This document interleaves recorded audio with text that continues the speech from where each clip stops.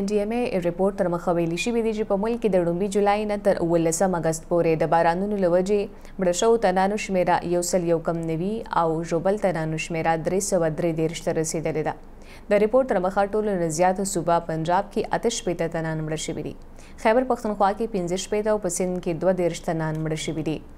اېن ډي اېم اې د رپورټ تر مخه ویلي شوي دي چې په ملک کې د ړومبي جولای نه تر اوولسم اګست پورې بارانونو له وجې مړه شوو تنانو شمېره یو سل یو کم نوي او ژوبل تنانو شمېره درې سوه درې دېرش ته رسېدلې ده.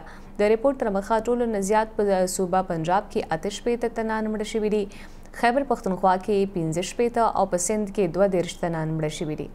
رپورټ کې زیاته شوې ده چې د زیات باران او سېلاب له وجې شپږ سوه پنځه څلوېښت کورونه وران شوي دي او څلور سوه نولس کورونو ته زیان رسېدلی دی. زیات باران له وجې اته سکولونه او پنځه دېرش پلونه هم متاثر شوي دي.